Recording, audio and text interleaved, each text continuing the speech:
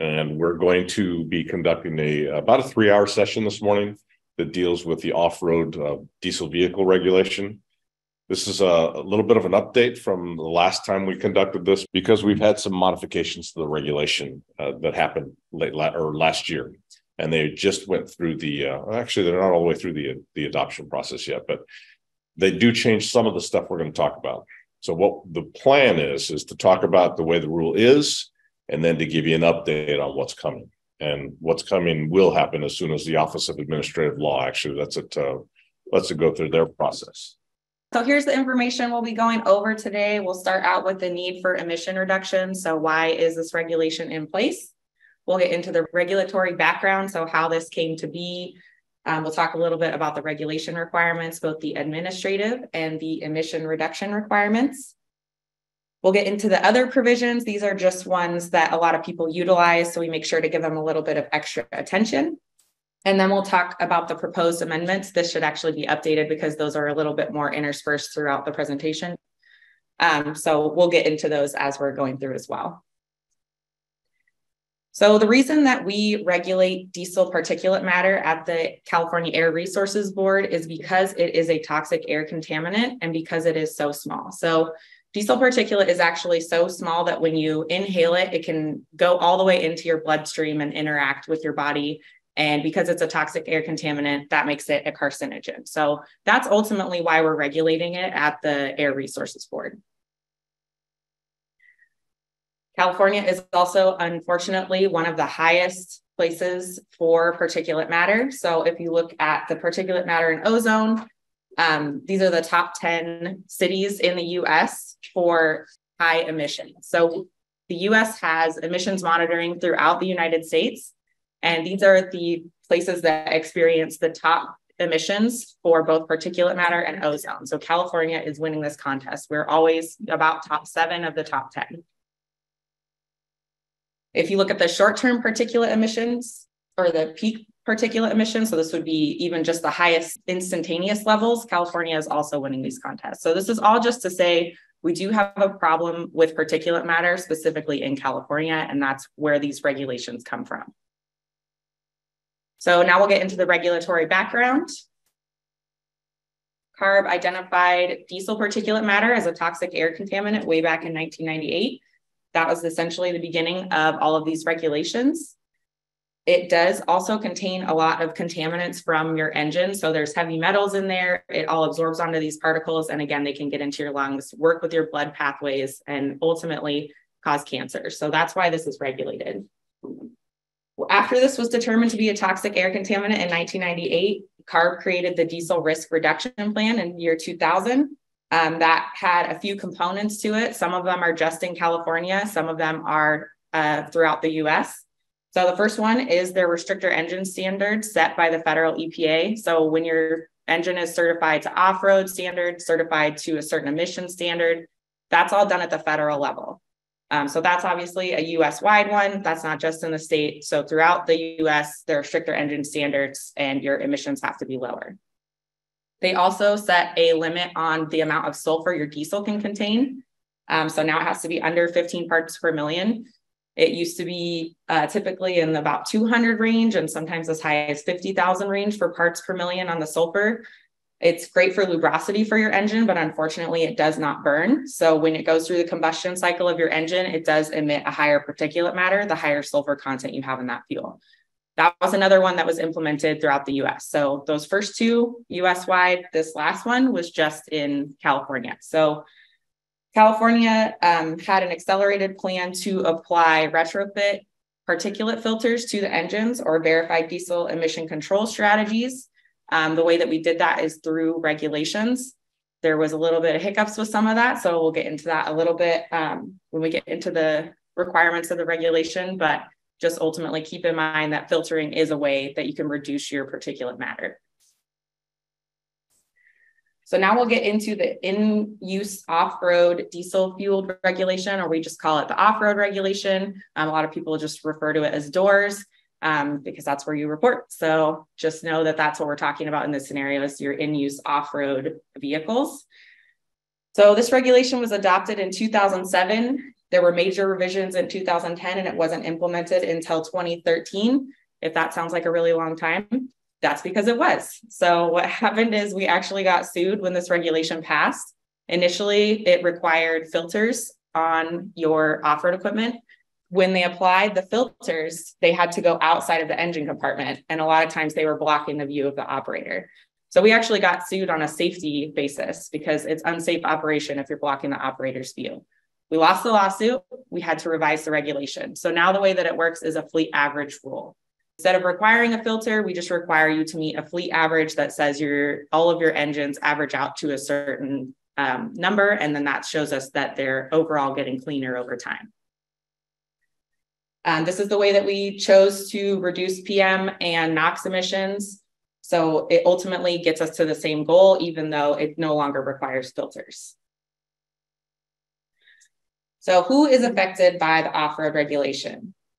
It applies regardless of how you're using this, so long as you don't meet a few certain exemptions. So if you have a business, if it's an individual operating it for profit, if it's a government agency, all of these fall under the off-road regulation. So now we'll get into the applicability for the off-road regulation. The first thing you want to look for is, is it self-propelled? So if you have an engine and it's powering a generator, it's on a trailer, you would have to pull that trailer in order for it to move. That makes it a portable engine. It's not an off road uh, self propelled engine. So it does have to be self propelled to fall under this regulation. It also has to be 25 horsepower or greater. So if you have a mini skid steer, a mini excavator, things like that, they're rated at 24.9 horsepower hilarious joke by the manufacturers. Totally works. They are exempt. So 24.9 you don't have any requirements. It's only once it's 25 or more that these requirements apply. It also has to be a true off-road vehicle so certified to off-road standards in order for it to automatically be included in the off-road regulation. There are a few um, exemptions where they were automatically included into the off-road regulation. A lot of times what happens when we're making our regulations is uh, people participate in the regulatory process and they advocate for their vehicle type to be either included or excluded from a regulation. In this case, there were a few um, types of stakeholders that participated that advocated for to be included in this regulation because they didn't want to be regulated by the truck and bus regulation. And we actually enveloped them into this regulation.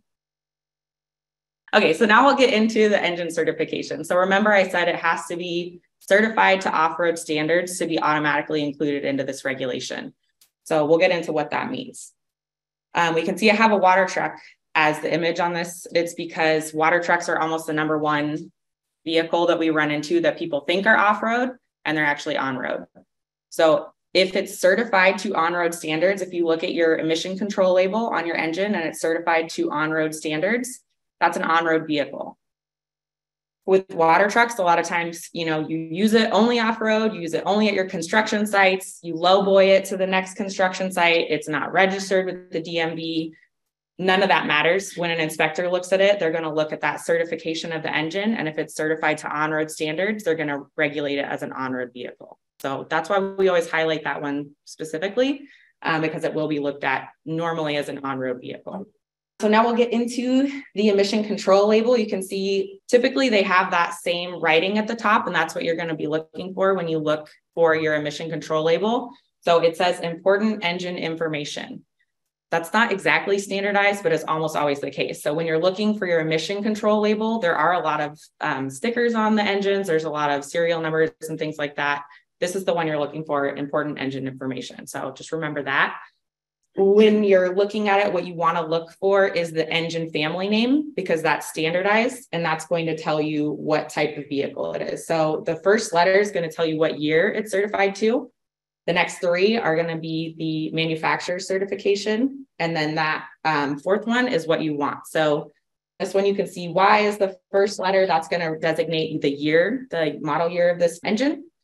The next three are PKX, so that's a Perkins engine. And then L is actually telling us that that is an off highway engine. So that's what you're looking for for these um, to see the engine certification. You can also look in the paragraph below and it says this engine conforms to 2000 US EPA regulations for large non-road compression ignition engines. So Non-road, off-highway, off-road, all interchangeable, all means it's an off-road engine.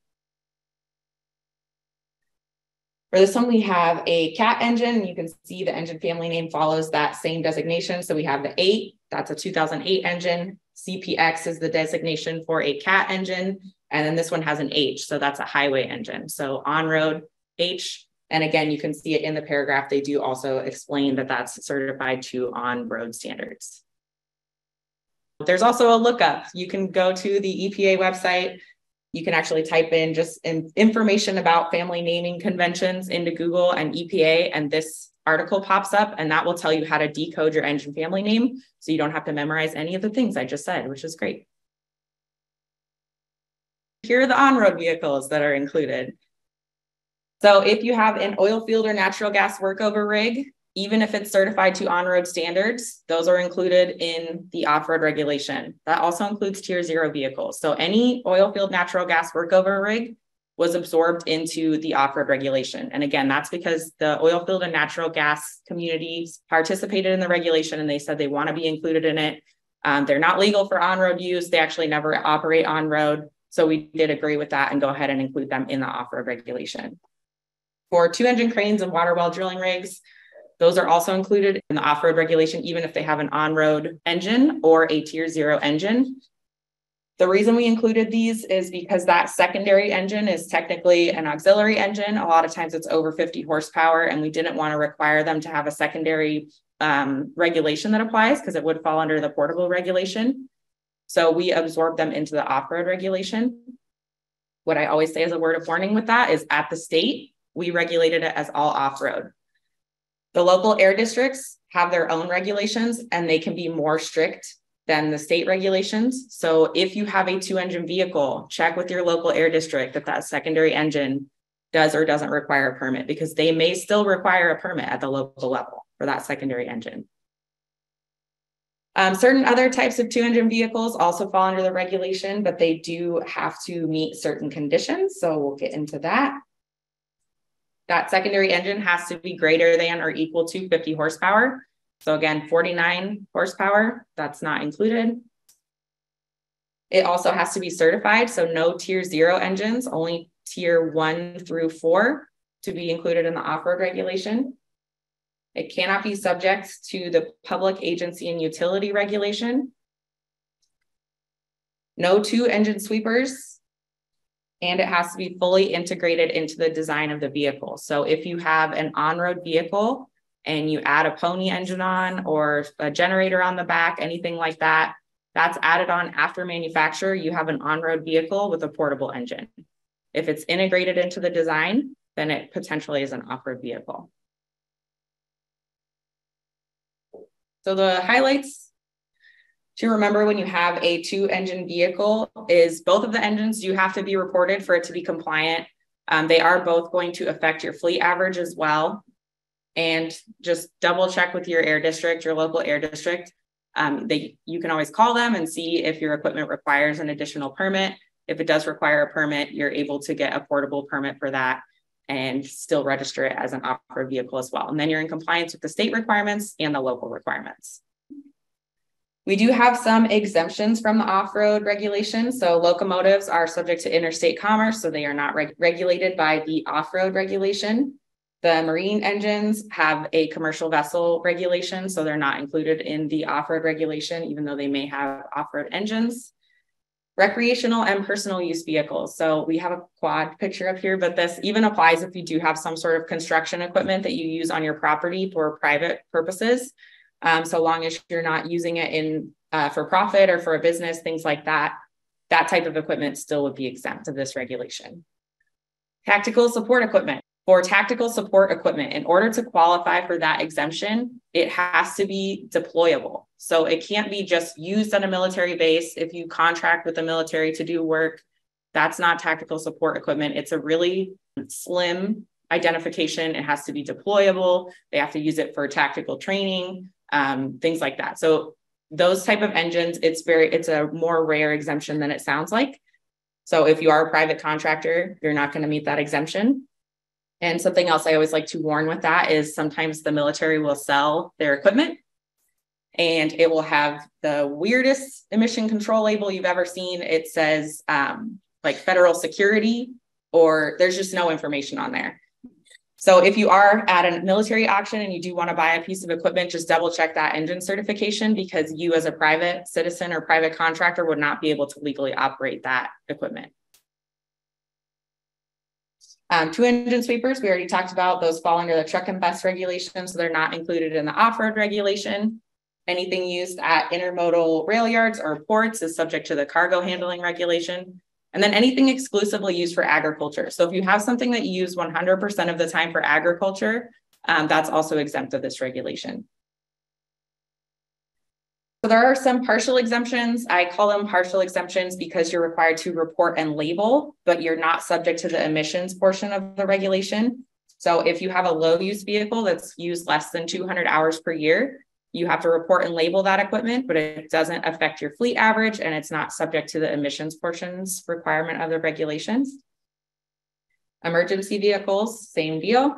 Dedicated snow removal vehicles, um, if you have equipment that's used a majority of the time for agricultural purposes. So if you have a piece of equipment that you use for crop preparation 65% of the time, and then you use it in your processing facility the rest of the time, that's not 100% exempt. We do want you to report and label that equipment and tell us how many hours you used it and um, for each subdivision of that.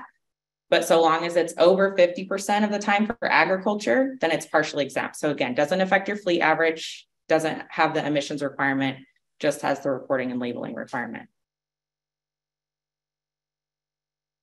Okay, review questions. So what is the minimum horsepower for a vehicle to be affected by the off-road regulation?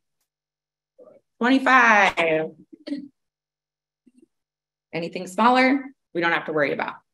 Um, so what should you check to make sure that your vehicle is truly an off-road vehicle? Engine family works. When where is that located? On your emission control label. So remember that important engine information.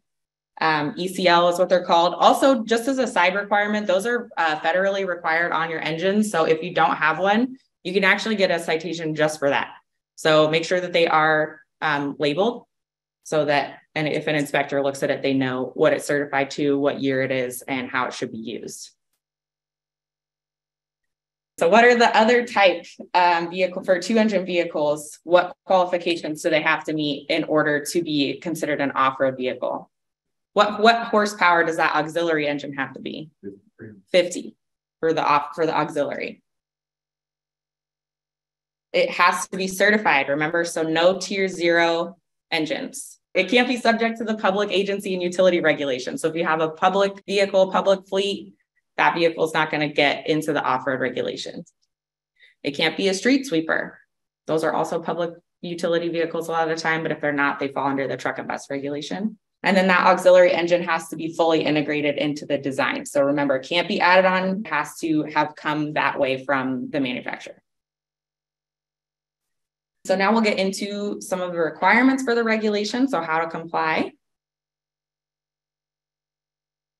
There are a couple ways to comply with this regulation. Um, I'll talk about the most common, the most, so we'll just make sure that everybody understands that. Uh, but ultimately, the way that it works is you report all of your equipment that meets the applicability, and that goes toward your fleet average. Your fleet average is going to be based on the horsepower of the equipment and the age of the engine. So if you have an older engine uh, but it's a lower horsepower. It's actually going to have a little bit less effect. It's not going to drive up your fleet average quite as much. The horsepower is going to be what determines the most. Your fleet average is going to be compared to a fleet target. The fleet target is set based on your fleet size. So small fleets have a target, medium fleets have a target, large fleets have a target. Your fleet target is going to get lower over time until the end of your timeline. Small fleets have until 2028 to comply medium and large fleets have until 2023. We did alter this presentation a little bit for this purpose because there's a little bit of changes if you're a medium or large fleet this year. Ultimately, as long as your fleet average is lower than your fleet target, you're in compliance. You affect your fleet average by adding vehicles. So if you add newer, cleaner vehicles, it's going to lower your fleet average. If you add older vehicles, it's going to raise your fleet average. And then there, like I said, there are a few types of vehicles that don't affect your emissions. You just report and label them. So again, your low use vehicles, dedicated emergency snow removal, anything that's partially exempt, you can report, you report and label it. So you show us you have it, but it does not affect your fleet average. So these are the fleet sizes. If you have under 2,500 horsepower, you're considered a small fleet. This also includes municipality fleets in low population counties and captive attainment fleets, regardless of their total horsepower. But for medium and large fleets, at this point in the regulation, their requirements are almost identical. So if you have over 2,501 horsepower, your requirements are going to be the same. So your medium or large fleet. For captive attainment counties, um, those areas were in compliance with the NOx standards, so uh, nitrogen oxides, when this rule was created, and the ozone standard. Because of that, they got a little bit of extra leeway under this rule. So they can comply with the small fleet requirements, no matter the size of the fleet, for that fleet that's in those attainment areas. If you do have a large fleet and you say a portion of your fleet is up there, you can actually contact DOORS and they can help you identify that as a fleet portion and just that section of your fleet can comply with the captive attainment requirements. If you do report your fleet as captive attainment, you should also have green labels instead of the red labels. If you do see a green label outside of a captive attainment area, that's out of compliance and that can be cited. This is a map of the captive attainment area. So as you can see, it's mostly in Northern California. Um, we do have a little bit on the Central Coast as well. If you do have a captive attainment fleet, just know you're only allowed to operate within those areas. And again, if you're caught outside of the areas, then you can get in a little bit of hot water there.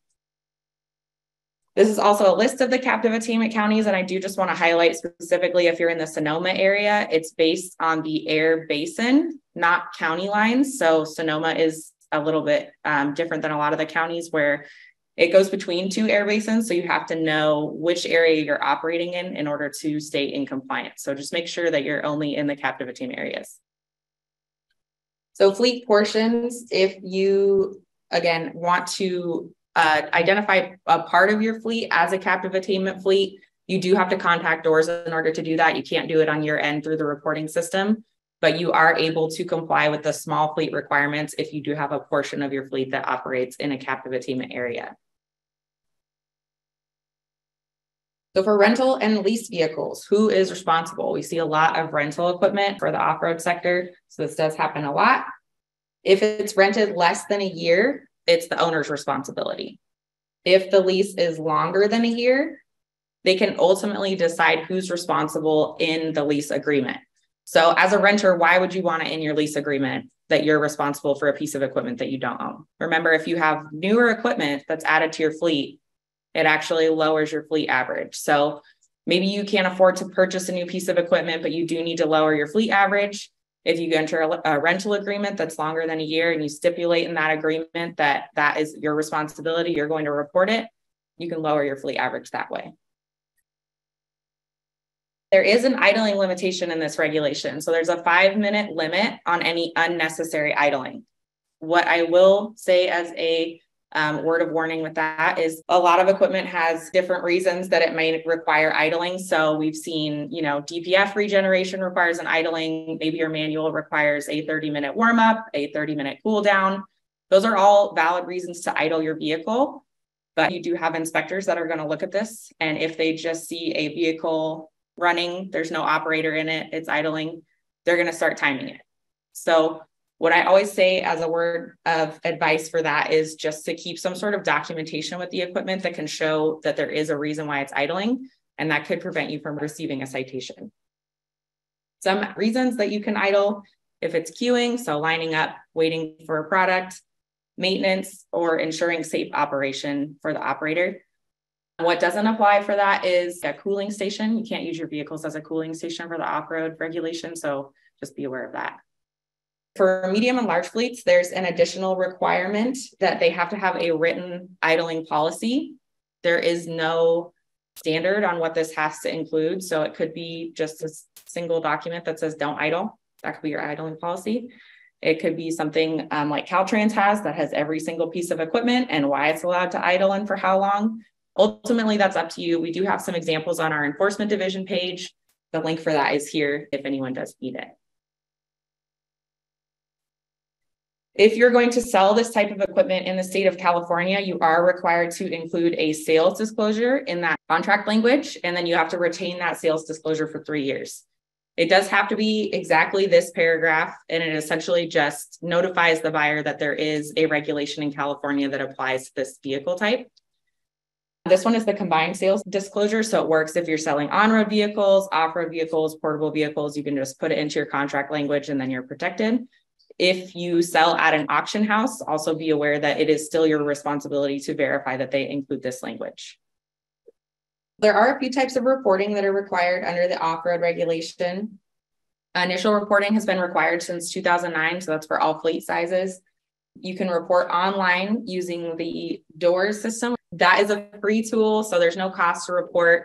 And you do have to make sure that all of the information you're inputting is correct. There is no automated way that we verify that information you're inputting. And if an inspector looks and the information does not match what you reported, you can potentially receive a citation for that as well. If you miss your reporting deadline, so if you have not reported yet, all the initial reporting deadlines have passed, the system will not flag you for opening a fleet today. We have fleets coming into California every day. There's no way that we would be able to do that. Um, so just make sure that you're getting that information in as soon as possible before you're caught in the field with unreported equipment. So this is your annual reporting. Um, it's the responsible official affirmation of reporting. For your fleet sizes, reporting is required through the end of your timeline. And again, until you're compliant with your fleet average. So if you're beyond your timeline, but you're not compliant with your fleet average, you do have to continue reporting until you're compliant. What you're required to report is any changes to your fleet. So if you've added vehicles throughout the year, you're required to report that within 30 days, but you do want to verify before you do your annual ROAR that they're all in there. Um, if you have any low use vehicles or partial ag vehicles, this is also when you would enter those hour meter readings to make sure that you've reported um, your usage to us and that they're staying compliant with those requirements. If you sell or purchase a vehicle, again, we want that to be reported within 30 days into the system.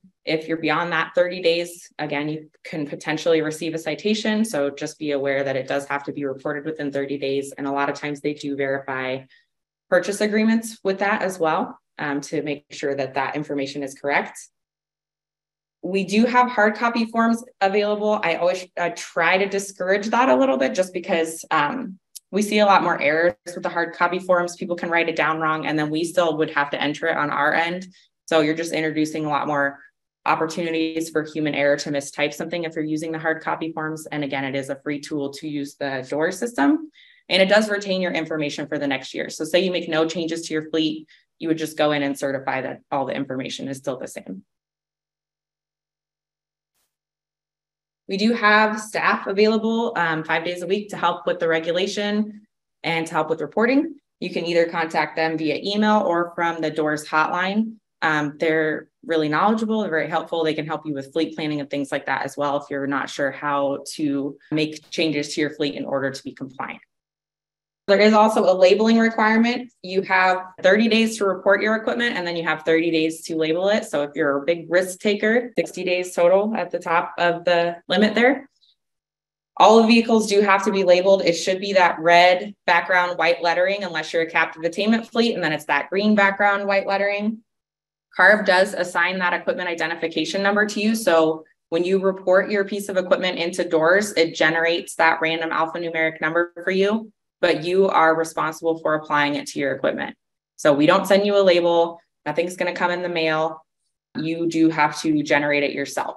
If you want to uh, purchase a label, we do have a list of vendors available um, that have sent their labels into us, and we've checked that they meet all the specifications of the rule. We also have people paint them on there. That's fine. Um, so again, just red background, white lettering, and you want it to be legible. For the vinyl labels, keep an eye on them because they do get very sun bleached at a certain point and you would want to replace them. You just replace them again with that same exact number that it already had. Just make sure that it stays legible for the life of the vehicle. And that also includes if it gets scratched off or something like that, because that does happen as well a lot. These labels are required to be on both sides of the vehicle. When we first passed this regulation, they were only required to be on one side. Inspectors would do inspections at the end of the day and the vehicles would be all turned so that the labels were facing in. So they couldn't verify the compliance. So we actually amended the regulation and now they're required on both sides of the vehicle. Again, the label specifications, there are some specific requirements. Typically, inspectors are just going to make sure that they're red background, white lettering, and that they are legible. So in clear view and still readable, so still in good condition. If you do want to order them online, again, we have that list of label vendors. A lot of times the dealerships where you purchase the vehicle will sell them to you as well. Some issues we see with the labels. A lot of times people will report their vehicle and then they don't put the label on that can get you a citation. So again, make sure that you're putting the label on and it does have to be on both sides. So you want to make sure it's on each side of the vehicle. A lot of times we'll see they aren't in clear view. So you can see in this picture, they put it inside the operator cage. If somebody's using that vehicle, I wouldn't be able to see it doing the inspection. It is not in clear view. So it's not actually in compliance with the regulation. So make, make sure it's somewhere that can be seen we do also see a lot of times on the excavators, they'll be behind the door that slides, and sometimes the door even gets stuck out open. Um, so you can't see that. Again, just make sure it's in clear view. Make sure that the equipment identification number, that EIN that's on the door, is matching what you have reported and one label on each side. It should line up with what you have in DOORS. We'll see incorrect EINs sometimes. So this one started getting sun damaged. It was cracking, it was peeling, it was getting hard to see, and they did the right thing and they replaced it. Probably somebody just wrote it down and said, Oh, make me this label. And that first G turned into a six. Doing the right thing still can just probably correct this. Not a huge issue, but just double check that it matches what you're originally reported and that is what's reported in DOORS. Something else to look for is it does always follow the same pattern. So if it's not two letters, one number, one letter, two numbers, that's going to be an instant red flag to an inspector. And you should just know that you probably just need to go back into your DOORS system and double check what it should be in there. We do have the website for the reporting system. You can also subscribe for email updates. That'll send you notifications of any changes or reporting deadlines, things like that. You can also see the DOORS login on the bottom left corner of this. So that's where you go into your reporting portal. That takes you here where you enter your login information to access the DOORS reporting website. Once you're logged in, you'll have a couple options. So you can either click to report an off-road diesel fleet, which is what we're talking about today. There is also a button for LSI. So if you have a large spark ignition forklift fleet or ground support equipment, things like that, that would be an LSI fleet. So it actually is a different login, a different regulation. For the off-road fleet, you can see we have a test fleet reported. That's actually a hyperlink. Test fleet is blue. Um, so you would click on that to get into your fleet information. The first thing you want to look at is your compliance snapshot page. This is going to tell you your fleet size, the number of vehicles you have reported, and most importantly, whether or not your fleet is in compliance. So it tells you right at the top as currently reported, your fleet has met the requirements through January 1st, 2023. Because this is a large fleet, remember January 1st, 2023 is the end date. So this is a compliant fleet. They don't, if they don't add any older equipment, they're going to be compliant throughout the regulation. So there's no other action you would need to take. They don't have to retire any equipment. They're just going to stay compliant. So this is the breakdown of the compliance summary. So it tells you again your fleet average and what the projected fleet average is going to be. This is an older screenshot. So you can see it was saying in 2022, the average is going to be 1.7, um, but it has maintained 1.7 for a while for that one. So it tells you when you're in compliance and then what your fleet average is going to be projected outward until the end of your compliance timeline. This is the BACT credit summary. So BACT we haven't talked about much yet. Essentially, it's the second way to comply that isn't the fleet average method. It works by retiring, replacing, or repowering 10% of your fleet every year until you're compliant with the average.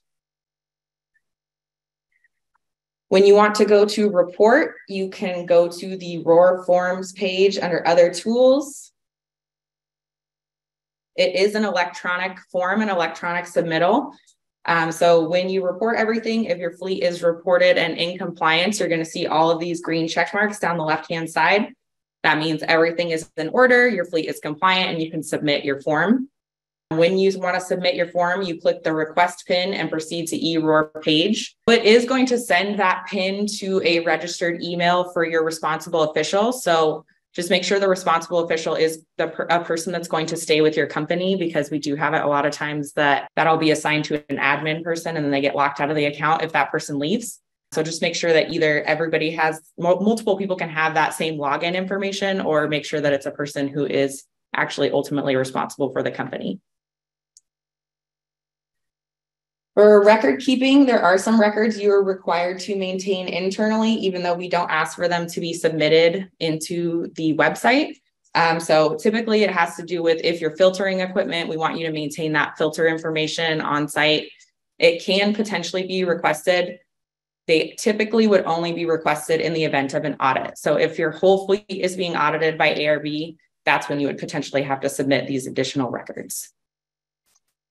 What are the general requirements for labeling off-road vehicles?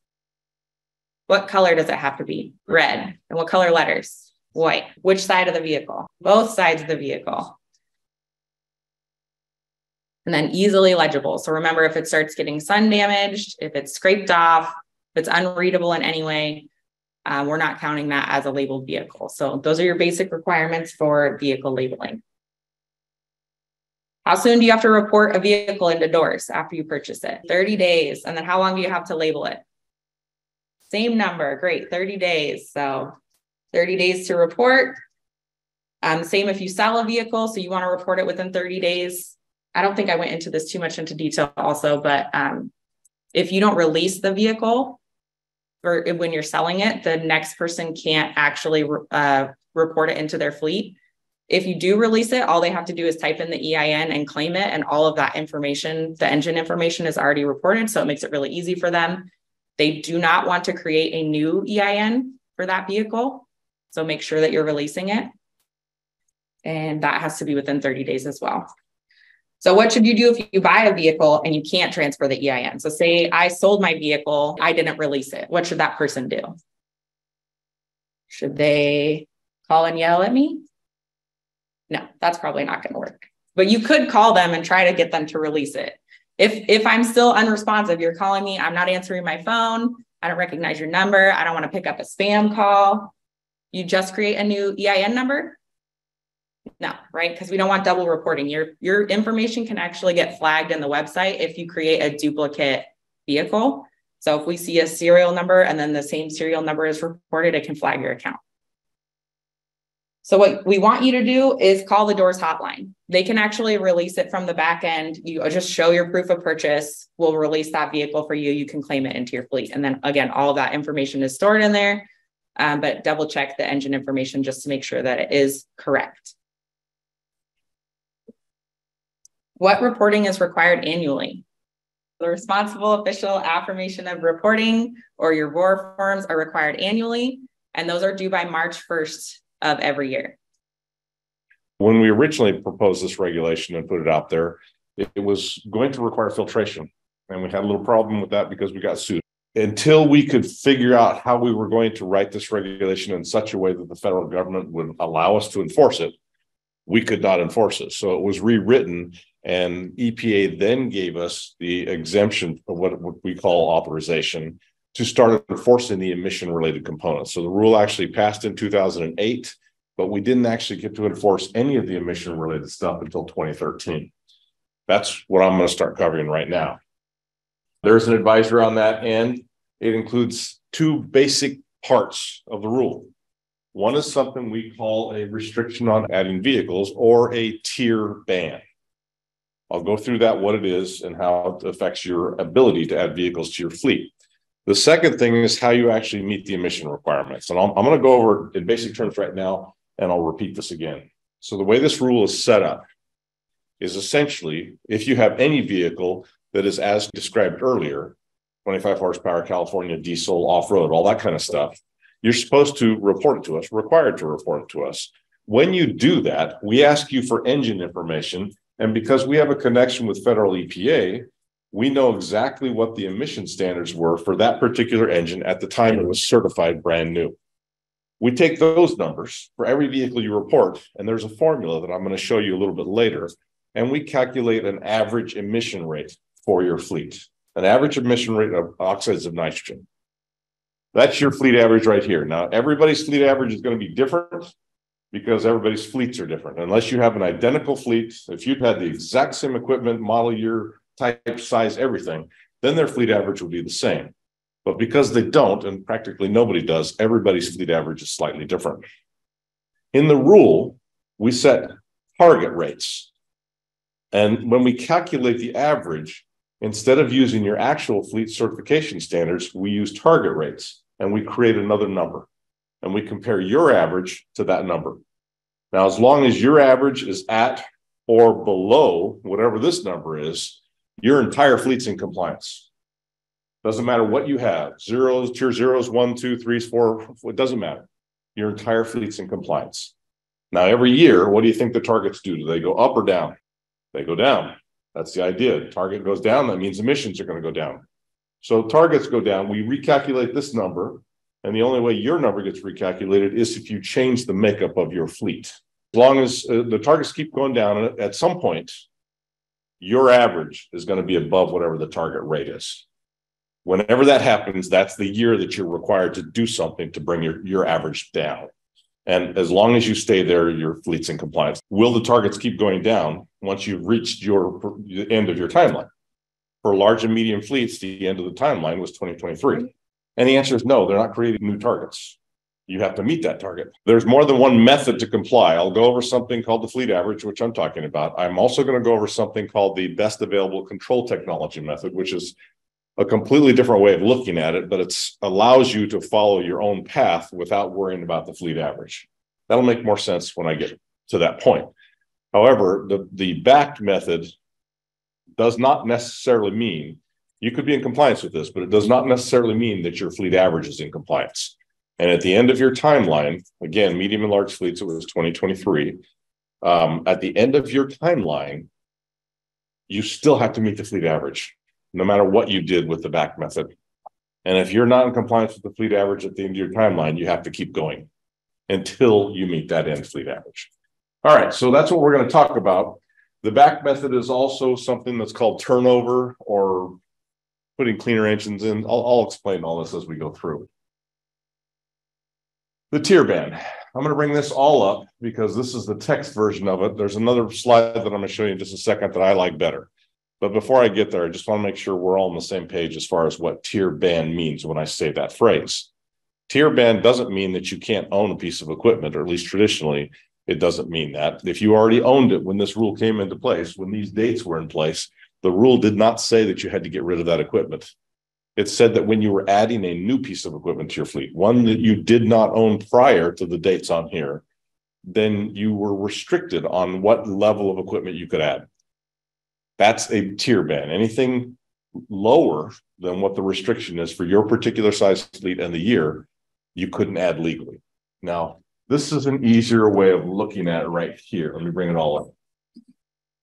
This is the rainbow chart for tier bands. You can see that on the left hand side, we have medium, large fleets and small, and on the top, we have years. And if you look at where we are today, we're all the way down at the end of the chart. We're in 2023. So all according to this chart, the way it stands, all large, medium, and small fleets, basically all fleets, are no longer allowed to add anything less than a tier three to their fleet at this point. Now, this is a trick question because I just told you this information. If you had a tier three prior to 2023, could you actually had a tier two prior to 2023? Could you still keep it? Yeah. It's not banning stuff you have, it's banning stuff you add. Okay. There is a little bit of a catch to this, though, and that is if you went into the reporting system today or yesterday or tomorrow and you tried to add a tier zero or a tier one or a tier two, the system would let you do it. It would put up an error message and say, hold on a second, are you sure you want to do this? And you would have to click past a, a little thing that says that. But ultimately, if you did click past it, you know, like all those agreements that you sign, you never read them, right? If you went past that, it would let you add those band tiers. And there's a reason for that because in this in business, you may not necessarily just buy one vehicle. You may be purchasing somebody's whole fleet. Maybe somebody's going out of business and they just want to get rid of all of it. Well, if you're in that position where you're buying a fleet from somebody and their fleet is in compliance at the time you buy them, there is no limit on what you can add. You can add their entire fleet, even if it has zeros, ones, and twos at this point. Let's face it, though, that's probably not the reason they're selling their fleet.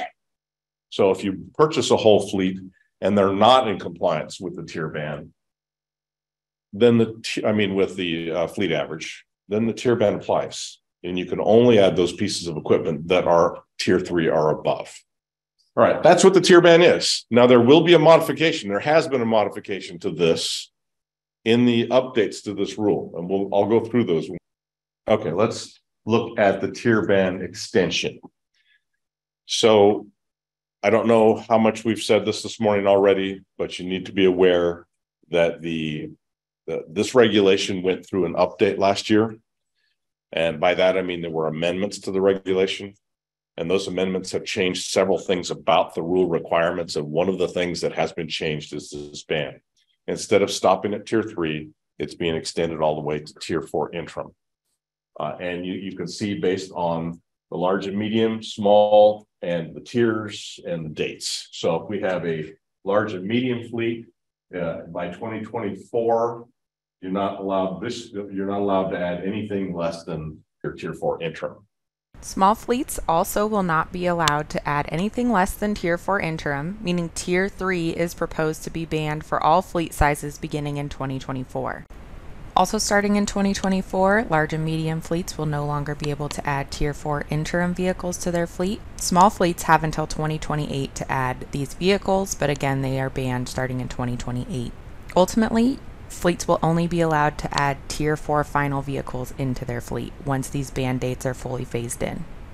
Let's take a look at the equipment phase out part of this. So the rule also, the updates have also modified the idea of being able to keep a piece of equipment indefinitely. Originally, the regulation never said you had to get rid of anything. You just had to lower your fleet average or stay in compliance with the BACT option. And when I get to BACT option, I'll explain exactly how that works again. Now we're going to be going through a series of steps where even older engines are going to be banned from operation in California. They're going to be phased out over time.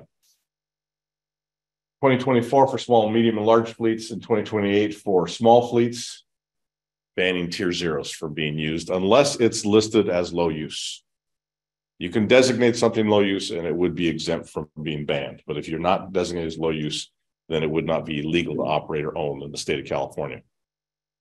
Uh, 2036, um, like I said, it doesn't apply to low use, but by 2036, even the low use tier zeros would be able, would be banned.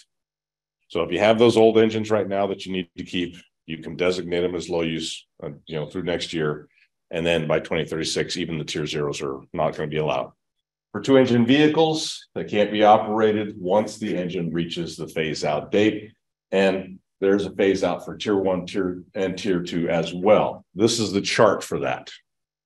So you can see we've got large medium fleets, the band of the year, the age of the equipment for all three types of tiers.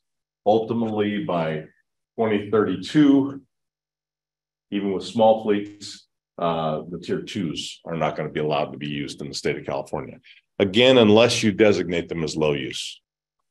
For fleet averages, as I said, we look at um, it's on NOx emissions, even though we're focusing on NOx emissions because we can't focus on PM because of the lawsuit. We still are going to get the PM emission reductions because when the feds certify an engine, they certify it across the board. They don't just certify it for one thing, they certify it for NOx, they certify it for PM, they certify it for CO, HC, everything and they don't allow an engine to be a new certified engine to have high PM emissions and low NOx emissions. It doesn't happen. So we know we're going to get those. Uh, as I said, we compare your existing fleet average to a target and the targets get more stringent over time. There is math involved. I'm going to show you what the formula is in a few seconds or a few moments. If you don't like math, don't worry. You don't have to know math to do this. The system actually does the math for you. I'm going to show you the formula because you should know what that is. But again, past this class, unless you really want to get into it, you don't have to remember it per se. We use something called emission factors when we're doing this. An emission factor is nothing more than an amount of emissions per unit of activity. So in the case of NOx, it's NOx in grams per horse brake horsepower hour. And that is a measurement that for when you run the engine, each engine has a certain number of horsepower that it's rated to. And uh, in an hour, how much emission will it put out per each of those horsepower? Brake horsepower is a term that's used to describe the usable force that's coming out the back wheels. If you're not familiar with this, you, when you rate an engine, you know, without any um, friction or heat loss, it can be rated at 100 horsepower or whatever that number is, but the actual usable horsepower is always less because you have gearing changes, you have heat loss, you've got friction, you've got all kinds of things that will drop that usable number down to a much lower level in some cases. So we always use the, the uh, brake horsepower. And a lot of times that's calculated at something called the flywheel. I don't want to get into engine technology too much, but basically the flywheel is where it's connected to the gears that run the device. This is grams per brake horsepower hour. And as I said a few moments ago, DOORS will assign those emission factors based on what EPA standards say that that engine was certified to when it was brand new. They will be listed if you want to know what yours are. They are supposed to be listed on the emission control label, ECL emission control label.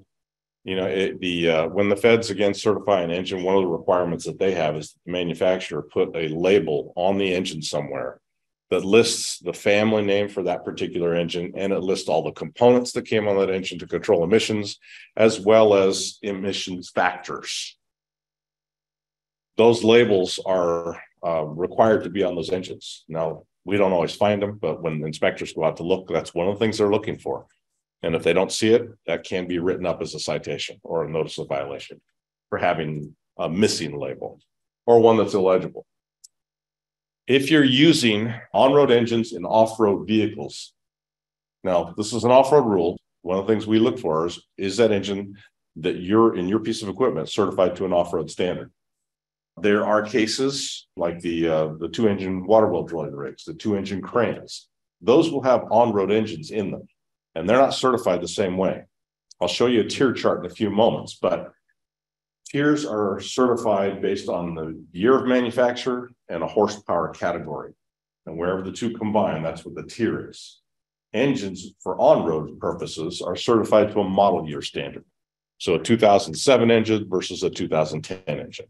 And they are different ways of certifying it. But because we can have on-road engines in some ways in this rule, we have to translate those on-road standards to off-road standards. So there will be uh, an emission factor calculation that does that. And again, as long as you let the reporting system know this, it should happen in the background automatically. If there's a problem with that, the DOORS staff is really good about figuring that kind of stuff out. So make sure you, you contact them if you have issues with that. Okay, how do I make my fleet average go down? You might replace vehicles, you might repower them, you might do different things. But how do I know which one of the engines I have is going to give me the most bang for my buck? Which one is going to make the most sense to work on or do something with? There's a tool within the reporting system that will give you this information. When you go to the fleet snapshot, it's going to give you a breakdown of how many vehicles you have, what your total horsepower is, compliance dates, and what your next compliance state is. Well, if you look at the horsepower horsepower that's being used in the fleet average, that is going to be a linked item. If you click on that link, it should give you a breakdown of all the vehicles that are being used to calculate your fleet average. So you can look at it in terms of that and say, this engine, if I do this, is going to give me a lot more positive things in calculating my average than the one on the bottom of the list. This is the tier chart. So this is a tier chart for off-highway engines or off-road engines. And if you look at the left-hand side, That's the engine model year or the year that the engine was manufactured. Not the vehicle model year, the engine model year. On the top, you have emission horsepower categories. They're ranked, usually it's just like a 50 or 75 horsepower ranges. But for the first one, for example, 25 to 49 horsepower, that's a 25 horsepower range. That's the smallest engine that actually has a tier standard. And if you go down to, let's say, 1998, 7.1 represents the uh, the certification level for that engine when it was brand new. 7.1 grams per brake horsepower hour of NOx emissions were what was allowed for that engine. The chart is color coded to tell you what the tier is. Anything in white, obviously, is a tier zero. That's the oldest engines. Tier one is going to be kind of this yellowish color. Tier two is kind of the orange brown color. Tier three is this, I'm not sure what to call that, but let's call it pinkish purple color. Tier four interim is the cyan or light blue color. And then tier four final is that purple color on the bottom. One thing should stand out. When was the last time there was a tier certification? What year? 2015 and later. That there really has not been another addition to this chart since then. So technically, theoretically, every engine for sale right now should be tier four final. Every new engine for sale should be tier four final. That's not exactly true. There are some engines in the higher horsepower categories that have not been able to get to these levels. And the manufacturers had some issues with that. So as we go further, they, they're still working on that. And I'll give you one other thing that's happening right now. And that is that there, there are companies and individuals and regulators that are working on tier four, five, or tier five. Okay. I don't know what's going to happen with that. I don't know when it's going to happen, if it's going to happen, but they're working on that right now. Now, as far as flex engines are concerned, when you have a tier requirement change, let's go back, back to 1998. So in 1998, for the 25 to 49 horsepower, it went from a tier zero, was what the government allowed to be sold for manufacturers to sell, to the very next year, in 1999, they had to produce tier ones, a lower emission standard. Now, that change actually happened between midnight on December 31st, 1998, and 1201, January 1st, 1999. Now, all the manufacturers, do you think that they sold all their old engines by that time? Do you think they had components to build the old engines still in, in the factory? Absolutely, they did. So there is a flexibility program that the federal government has allowed for years where the manufacturers can make and sell the older engines, even though they're not legally allowed to because the tier changed. For the first six months of a tier change, they're allowed to do this. If they have an engine like that, that is called a flexibility engine because it meets a flexibility program allowed by the federal government. After the six months is over, they're not allowed to sell any more of those engines for use in the United States.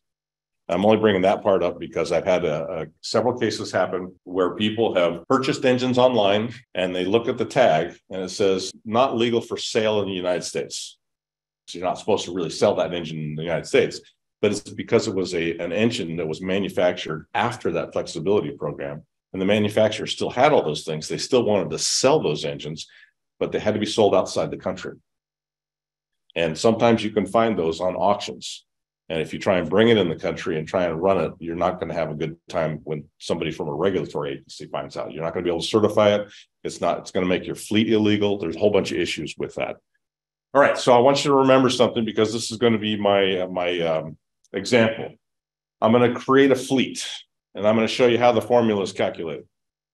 My fleet has 10 vehicles. I have nine that are 25 horsepower, 1998 engines. What's the emission rate for that? 7.1 grams per rate horsepower hour. So I have nine of those. And I have one engine that is the same model year, but it's 780 horsepower. What's the emission factor that's allowed for that one? 8.9. So those are the two numbers that um, that I want you to remember. Let me see here. Let me do it on this slide, and then I'll, I'll uh, erase the information here. So when you put when I put my information into the fleet calculator into DOORS, it's going to create a formula of my fleet. And the formula is going to go like this. It's going to be nine. I'm sorry for my writing. I'm doing it on the mouse here, so it's not that great. Nine times 25 times, what was the emission factor for the 25? 7.1.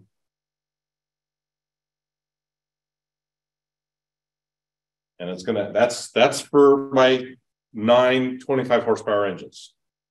Now, I had another engine though. I had one.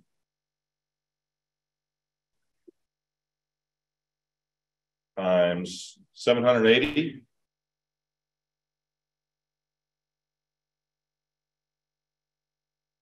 And then what was the emission factor for the seven eighty? Eight. Point nine. Sorry about that nine there. Okay, so going back to high school, that's my numerator. That's the top of my calculation. I have to have a denominator, the bottom of my calculation. And that one is going to be nine times 25 plus one times seven eighty. And again, I apologize for the scratch there, but that's the best I can do without having a stylus of some kind. That's how you calculate your fleet average. That's how the system calculates your fleet average every time. The only difference is your engines would be put in there. If you had 20 engines, three of them were 25 horsepower, you'd have one set for that, whatever the emission factor is of that particular engine. And you'd have to go to the tier chart to find out what your emission factor is. This is why I'm saying if you don't like math, don't worry about it because the system goes does all that for you in the background. But this is how it's calculated. Now, here's the question. Which of these engines is going to have more impact on the actual number we see here? The 780, the big one. I could change all nine of the 25 horsepower engines and buy brand new tier four finals, and I would still be out of compliance. Because when we're talking about emission factors, what is that? That's a unit of mass over time. And 7.1 is not that much different than 8.9. But if we're talking about mass emission rates, total amount of emissions, how much, which one puts out more emissions, the 780 horsepower or the 25 horsepower? The 780, a lot more emissions. So if our goal is to totally reduce emissions, we want that kind of engine taken out and updated before we want the 25 horsepower ones. That is why this is a horsepower weighted average. And that is why the regulation is horsepower weighted. In that formula that I showed you, where I had the number of the horsepower rating of my engines, the number of engines times an emission factor, and then I, I had all that calculation going on. That was my actual fleet average because it was based on the actual engine emission factors. When we calculate your target, the other half of the equation that I was talking about earlier, we use these numbers. We don't go by model year of the engine anymore. We go by compliance year. So right now we're in 2023. So instead of using your actual emission factors, when we calculate your target, we would go to this and we find out your horsepower category. So in the calculation, when I'm calculating my target for my fleet, I would put nine times 4.7 times 25. And I would put one times 780 times 5.5 that target's going to be way lower than what my average is. And every year, as you can see, those numbers go down. 24, it goes to 4.4, 4.1, all the way down to 3.3 for that small category of engine. All right, that's the fleet average. That's how it's calculated. That's how it works. If your fleet isn't compliant with the fleet average, another option you have is to follow the BACT method. BACT credits are still available, and the BACT method is still a way your fleet can comply today. For medium and large fleets, the BACT credits that were previously banked or any credits that had accumulated from retiring equipment expired in 2023. Medium and large fleets will be starting over from zero as far as the BACT credits. But if you retire over 10% of your fleet, you can still bank credits. So, say you retire 12% of your fleet this year, 2% of that will still roll over to the following compliance year. In order to generate BACT credit, you do have to have at least 10% for a fleet turnover. And you must apply that turnover to tier zero and one vehicles first.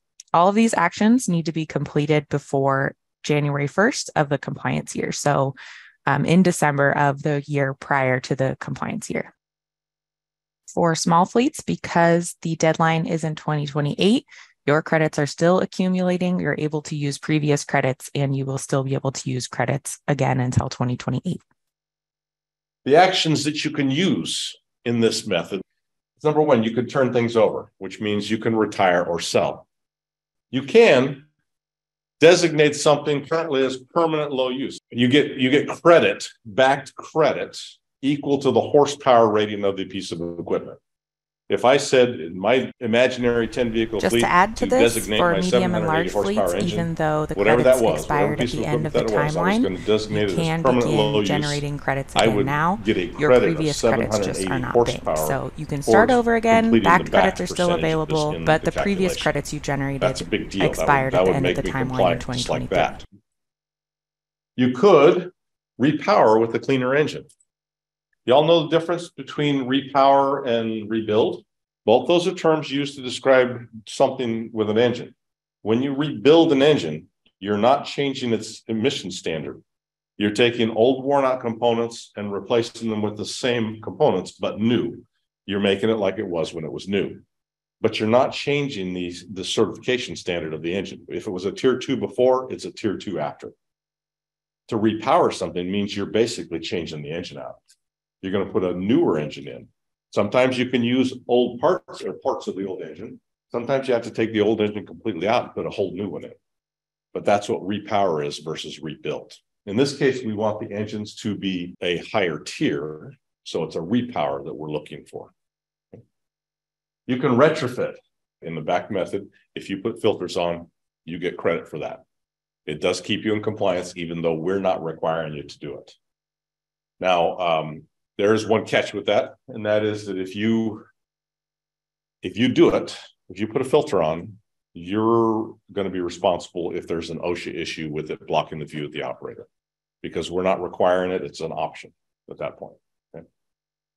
Credits expire at the end of the timeline, so we have some medium and large fleets in here that if they had existing credits uh, January 1st of 2023, they went away.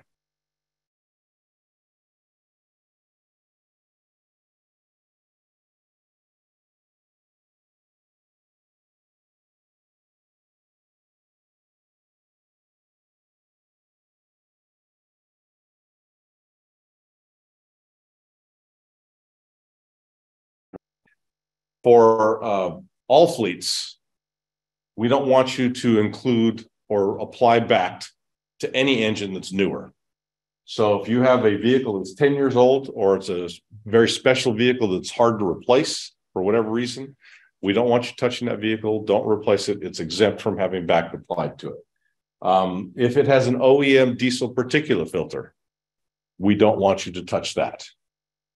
If it's a tier four interim or tier four final, those are the newer engines. We don't want you touching those. So don't do anything to those if you're following the BACT method. For the medium and large fleets, if you've installed the filtration system in the last six years, until that filter gets to six years old, the vehicle itself is exempt from having BACT applied to it. For smaller fleets, it's all about is there a filter available? If you're having if you're going to install a filter and you're going to use that as backs, we don't want you to have to, we, we're not going to require you to do it on a vehicle that there is no filter available for. So until the filter is available and ready and able to be purchased, that particular vehicle would be exempt from having BACT applied to it. Sounds like a lot of numbers, a lot of calculations, a lot of decisions have to be made for you to decide, you know, which vehicles you're going to upgrade, which vehicles are going to be low use, all, all that information. There is a tool that is available to you if you want to take advantage of it, and it's called the Fleet Calculator. It is a spreadsheet we created, and it's downloadable on uh, the off road website within your account. And I think you can download it without even being in the account. And basically, it'll work for any fleet, whether you're following the BACT method or the fleet average. And what it does, I'll show you a picture of it. This is the, the intro page that gives you instructions.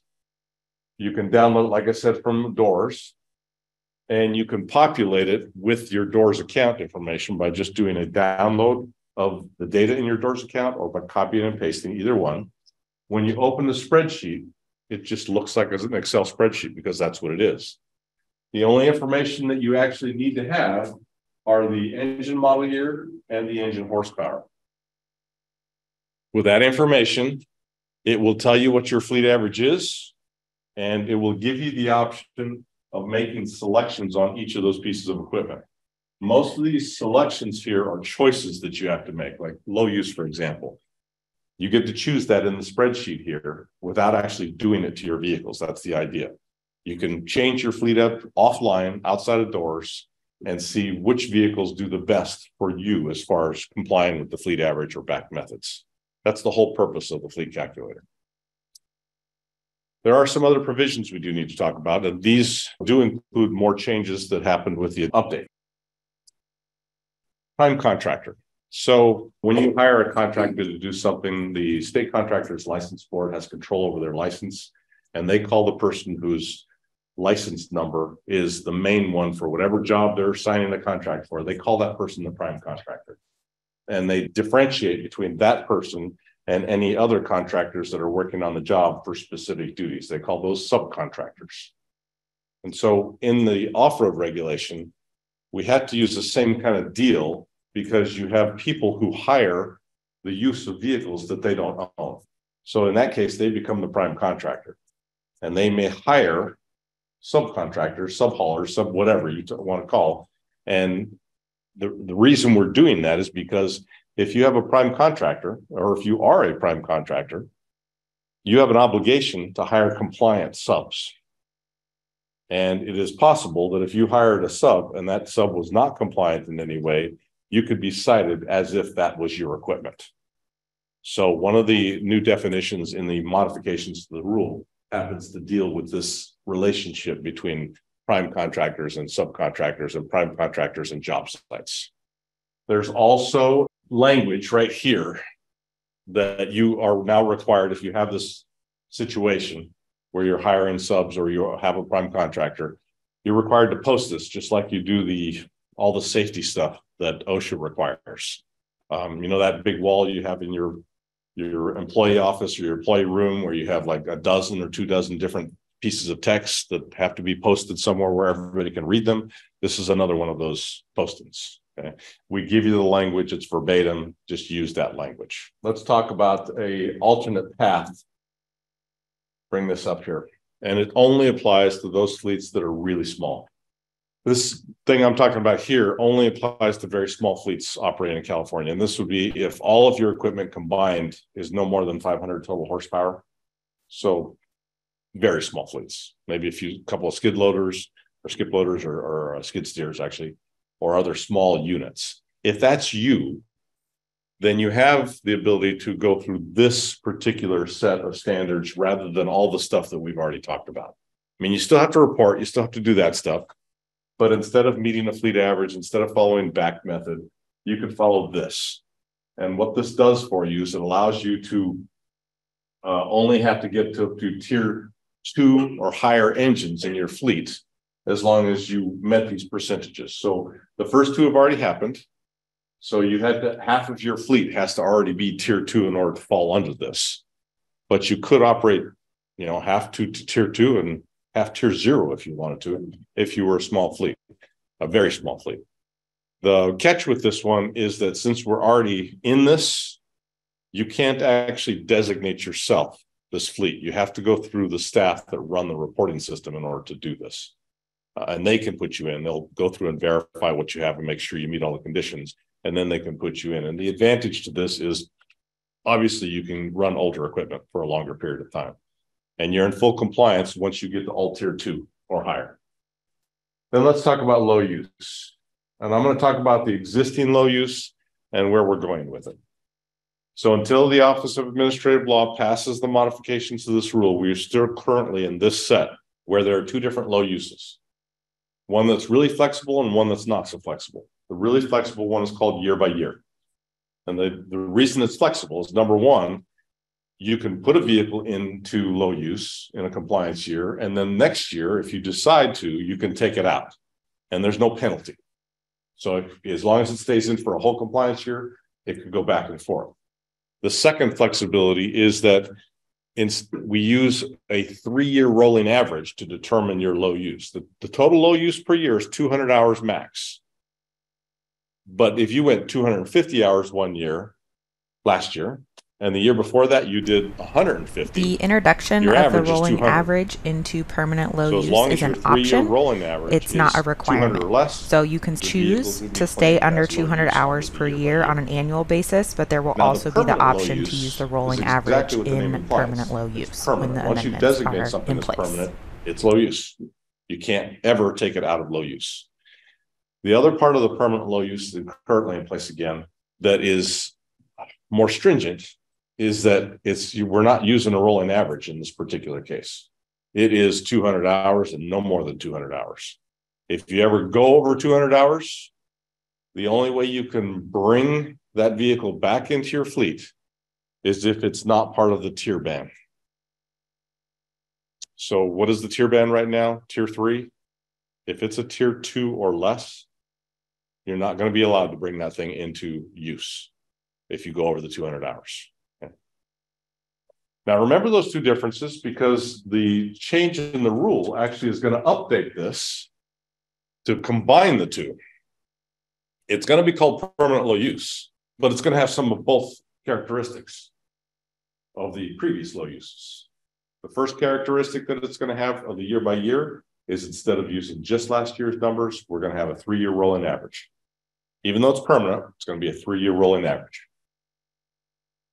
The part of the permanent low use that it's being folded into this is the fact that it's no more than two hundred hours. And you can never take it out of low use. You got the rolling average, it's got to be less than two hundred hours. And once it's designated as low use, you can never take it out of low use.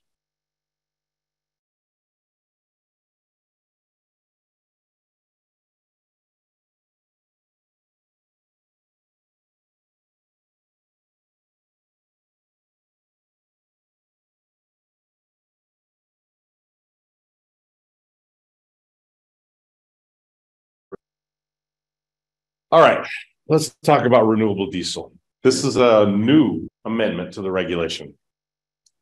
It's not a modification of an existing one. The low use was a modification. The other one, the tier ban and the extension, those were all modifications.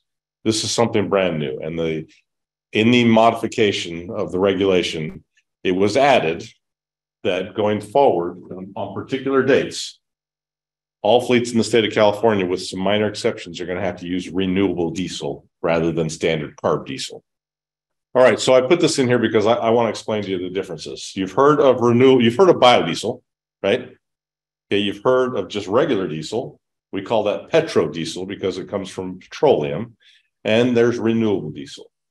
Petrodiesel, that's a process that everybody has known for decades and decades and decades. You take dinosaur juice out of the ground, you put it through a distillation process, it makes different types of fuels.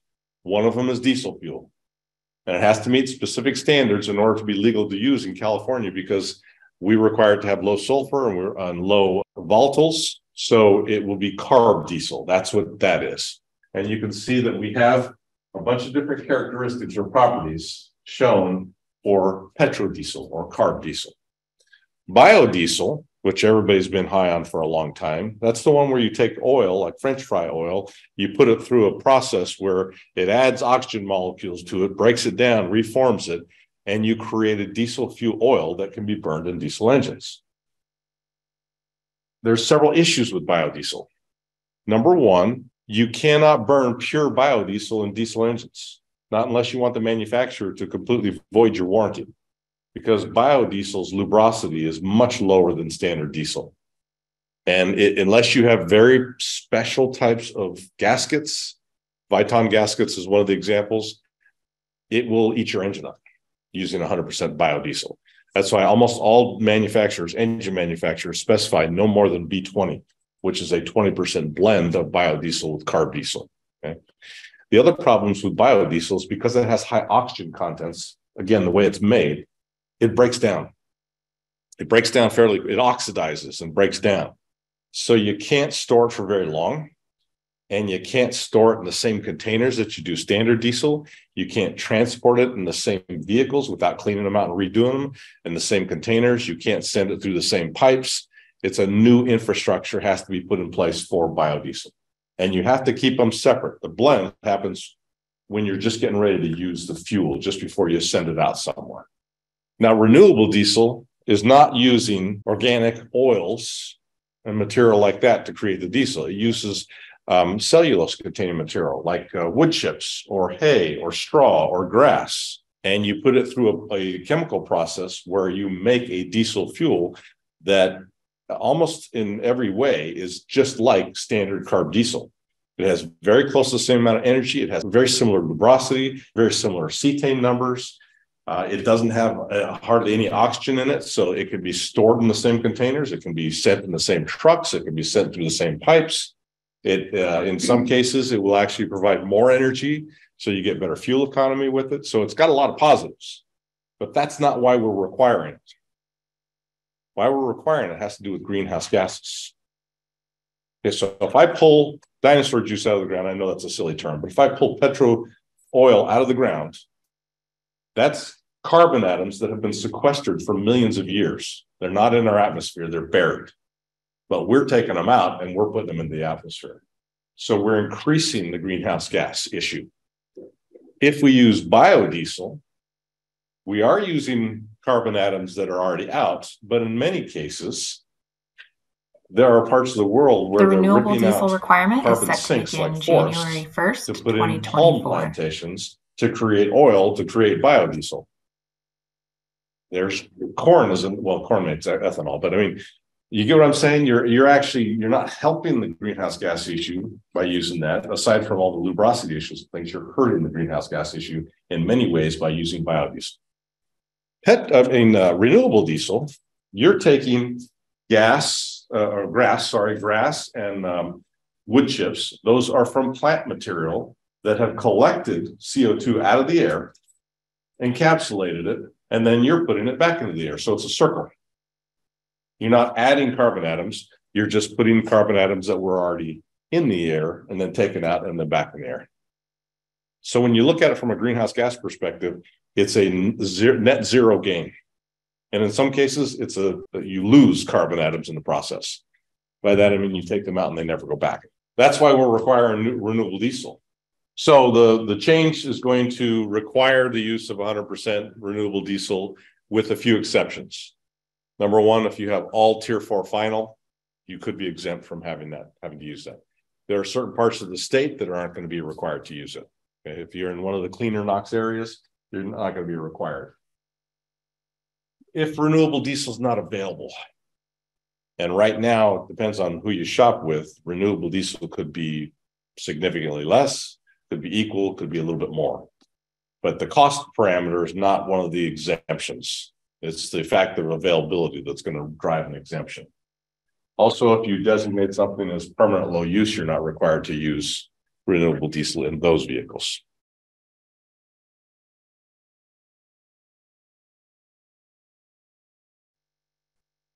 There's also an extension and has been forever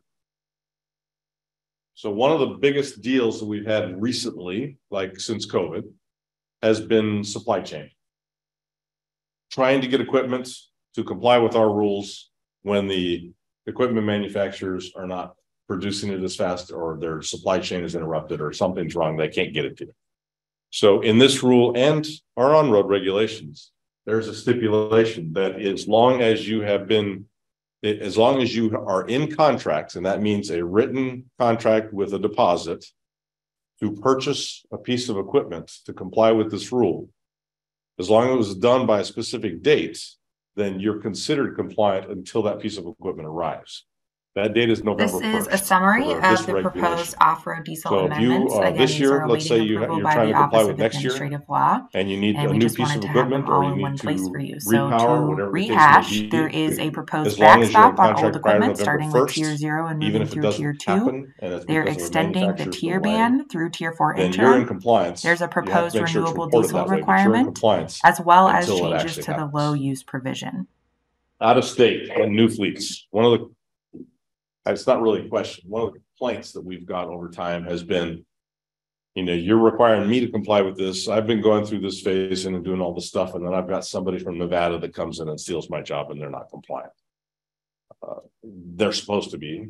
They will get cited uh, if, if obviously we have to find out about it, but they don't get the benefit of any kind of phase in. They don't get the benefit of any of the flexibilities in this regulation. They don't get the benefit of a BACT method. If it's a new fleet coming brand new to the state or it's from out of state coming in, whatever their fleet uh, average emission rate is, at the time we do the calculation, they have to meet whatever the target is for that size fleet. Now, there is the possibility, and I've seen this myself actually, where you can see a fleet and none of the vehicles are labeled. So you think they're completely out of compliance. How many days do you have to label your vehicles once you 30? So they could be in that 30 day window. So be aware that's a possibility. Uh, what's the what has the greatest effect on the fleet average for each piece of equipment? The emission factor or the horsepower? Yeah, I kind of beat that into your heads a little bit. It's a horsepower. The bigger the engine, the more it's going to affect your calculation.